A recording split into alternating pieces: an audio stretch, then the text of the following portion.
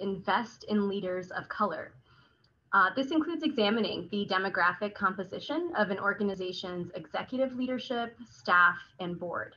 Is it representative of the community served? Are there any mechanisms in place that provide opportunities for beneficiaries to advise on programs or organizational priorities, and ideally in a paid capacity? How is the organization accountable to the community it serves?